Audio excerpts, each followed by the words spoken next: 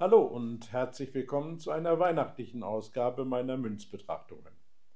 Ich hoffe, dass ihr eure Weihnachtsvorbereitungen pünktlich abgeschlossen habt und nun Zeit habt, euch, eure Familie, Freunden und natürlich auch eurem Hobby zu widmen.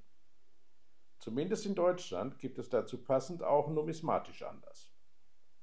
Seit nunmehr drei Jahren gibt die Bundesrepublik Deutschland besondere Münzen mit Weihnachtsmotiven heraus.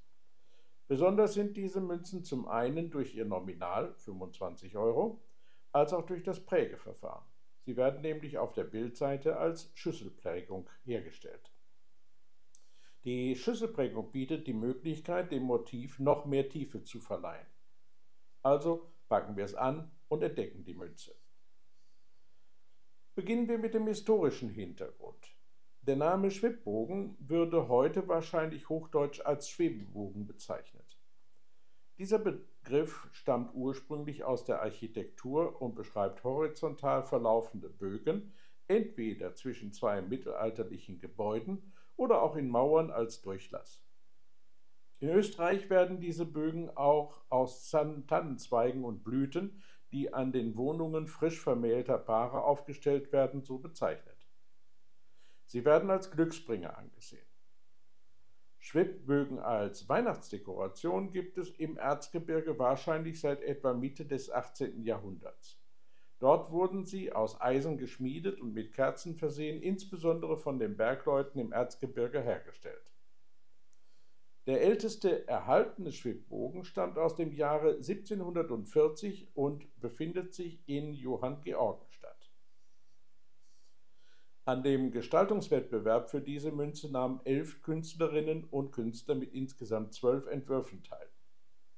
Die entscheidende Sitzung fand am 21. Oktober 2022 im Gebäude des Bundesverwaltungsamtes in Berlin statt. Es ist sicherlich auch wert, nicht nur den Siegerentwurf zu betrachten, sondern auch den Zweit- und Drittplatzierten.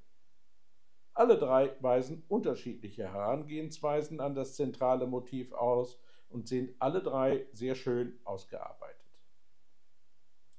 Den Zuschlag erhielt letztlich Reinhard Eiber aus Feucht, der zwei sehr unterschiedliche Entwürfe eingereicht hat. Ich finde, dass die Auswahl durch die Jury bei der Betrachtung der beiden doch recht unterschiedlichen Entwürfe nachvollziehbar ist. Der Siegerentwurf wirkt deutlich strukturierter und aufgeräumter. Bei dem umgesetzten Entwurf erhebt sich der Schwibbogen als Halbkreis mit einer horizontal verlaufenden Sekante als Basis aus der Schüssel. Auf dem Bogen sind zehn brennende Kerzen auf ihren Halterungen dargestellt. Dieses symbolisiert Licht, das möglicherweise für die Bergleute des 18. Jahrhunderts von Bedeutung war, weil gerade im Winter ihr Arbeitstag es kaum zuließ, dass sie das Tageslicht erblickten. Auf der Basis unter dem Bogen ist zentral und die volle Höhe des Bogens ausnutzend ein von Wald umgebenes Fachwerkhaus dargestellt. Die Tannen wirken dick verschneit, der Waldcharakter wird durch verschiedene Tiere wie ein Reh, einen Vogel, ein kleines Tier, das nicht eindeutig zum Beispiel als Katze zu identifizieren ist, unterstrichen. Diese Darstellung drückt viel Ruhe und Friedlichkeit aus. Auf allen Veröffentlichungen wird das Haus mit seinen Fächern und Zimmern mit spiegelndem Hintergrund dargestellt. Bei der hier gezeigten Spiegelglanzausführung ist der Hintergrund im Haus komplett mattiert. Damit hebt sich das Haus noch deutlicher aus dem Spiegel heraus.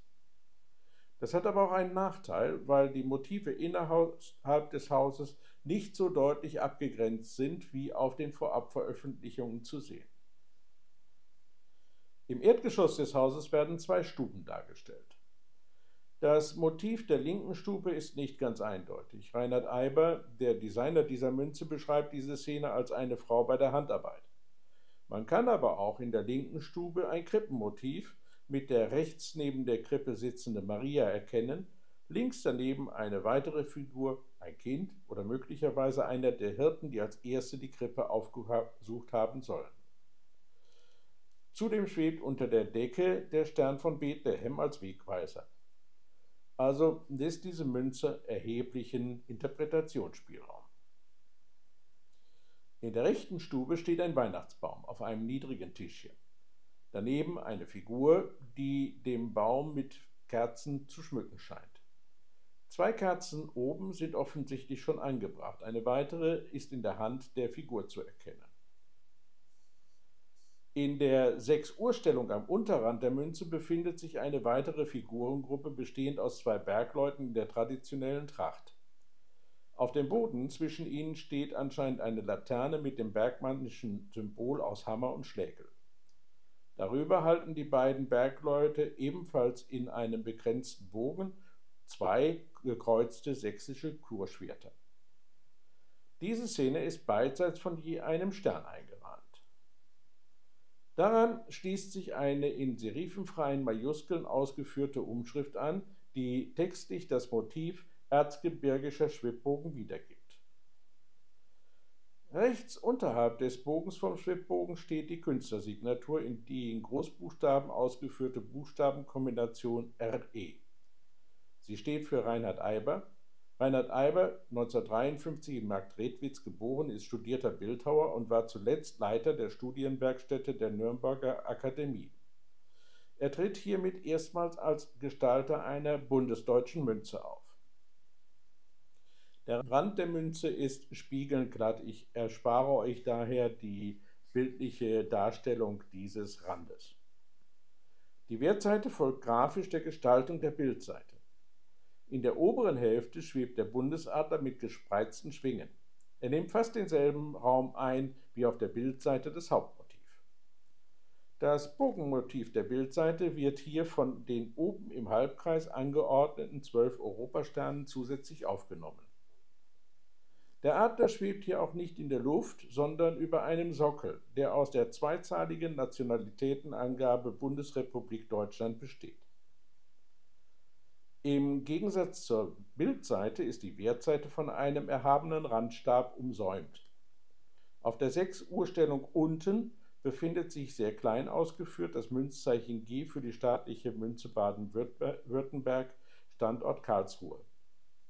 Darüber deutlich größer das Nominal 25, eingerahmt links von der Eingabe des Ausgabejahres und rechts der Währungsangabe Euro.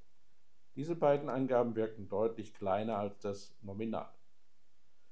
Gestalterisch ähneln sie auch hier der Abbildung der Bergleute auf dem Unterrand der Bildseite. Die Münze wird in Feinsilber geprägt. Sie wurde am 29. November 2023 ausgegeben und lediglich in der Münze Karlsruhe hergestellt. Laut Prägestatistik liegt die Auflage in Spiegelglanz bei 55.000 Exemplaren. In der Stempelglanzversion erreicht sie 655.000 Stück. Das ist schon eine enorme Zahl, die sicher eine Wertentwicklung nicht besonders befeuert. Der Erstausgabepreis für die Spiegelglanzmünze liegt bei 49,95. Der Handel verlangt dafür eher 55 bis 60 Euro. Die Stempelglanzausführung ist bei Banken zum Nominal zu bekommen Ebenso bieten auch etliche Händler vorübergehend die Münze zum sogenannten Tauschpreis an. Die Preisvorstellungen für diese Variante geben aber auch bis ca. 33 Euro hoch. Als Feinsilbermünze entspricht ihr Silbergehalt dem Münzgewicht, also 22 Gramm.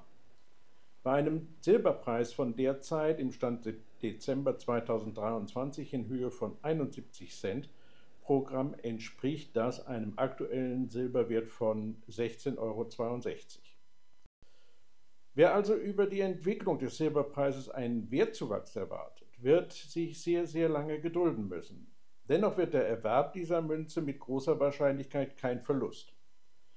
Das Nominal 25 Euro ist staatlich garantiert. Damit liegt der Verkaufspreis knapp 9 Euro über dem Materialwert das entspricht einem Schlagschatz von ca. 45 Prozent. Der Kreis der potenziellen Interessenten dürfte bei dem Thema Weihnacht und der Auslieferung in einer Kapsel mit Aufhänger groß sein. Also ist nicht zu erwarten, dass der Marktpreis unter den jeweiligen Verkaufspreis einbrechen wird. Selbst bei der Stempelglanzausführung wird man sich aber lange gedulden müssen, bis der Materialwert den Einstandspreis überschreitet. Für die Spiegelglanzausführung dürfte die Prognose einer Wertentwicklung über den aktuellen Kaufpreis hinaus noch problematischer aussehen. Allein der Erstausgabepreis liegt schon um fast 100 Prozent über dem Nominalwert und gut dreimal über dem Ausgabepreis.